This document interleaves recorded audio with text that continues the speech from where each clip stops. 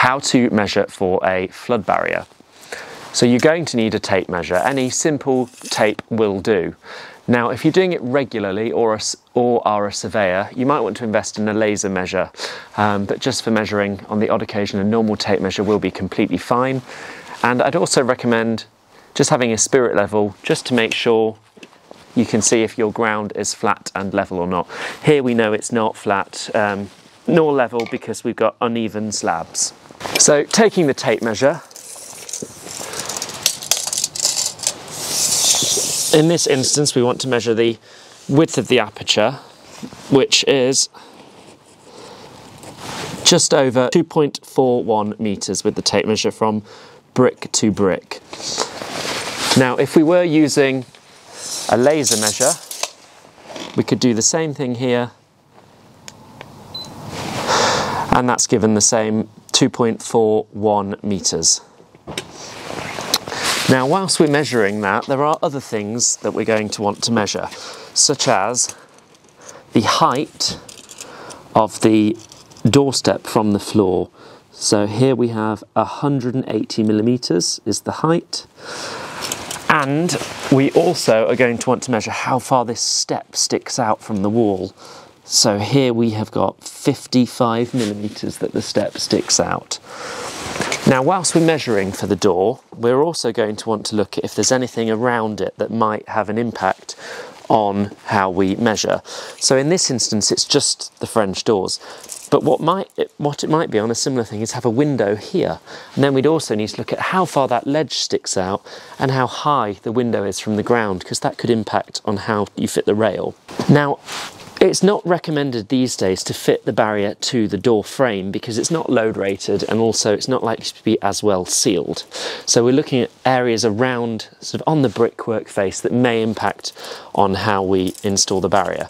Now in this instance, we've got this brickwork that actually sticks out here. So when I'm recording about the doorway, I'm going to make a note of that. So the height that that sticks up is from the floor is 520 millimeters. And I'm also going to record how far it protrudes from the wall, which is 10 millimeters. Just because it might have an impact on how a barrier was to be installed. And obviously, want to make this as simple as possible and try and get all of the measurements in one go. There could be on other properties other things that may impact, such as mobility handles that might protrude. Um, so it's just making an assessment of everything that is around the door as well when we are measuring for it. But the three key things here are the aperture width, the height of the step to the floor, and how far the step sticks out from the wall. You saw me out on site earlier measuring a set of French doors for a flood barrier. Now I wanted to also show a different example. So here we have a door which is set in a reveal. So it's a slightly different way of measuring because what we're going to need to know on this measurement is we're still going to need to know the width. So we're going to need tape measure or the laser measure to measure the width. But what I'd also recommend measuring is this measurement, which is what we call the depth of the reveal.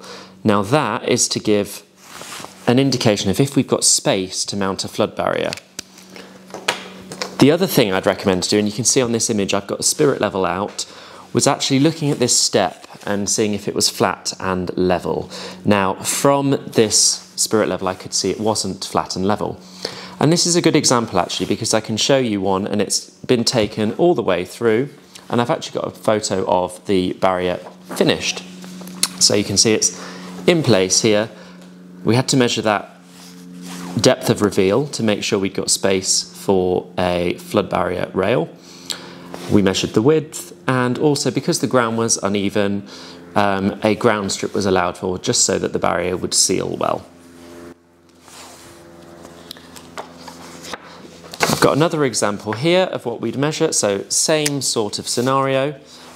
We need to measure this depth here.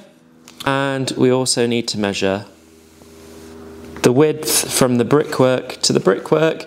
And then also ideally use a spirit level to see if the ground is flat and level. Now there are some other instances where I would recommend measuring the inside of the door as well. If it was an outward opening fire escape, you don't want to be blocking the fire escape, so it's worth measuring internally and externally, just so that we can have a look at what the best options for that are.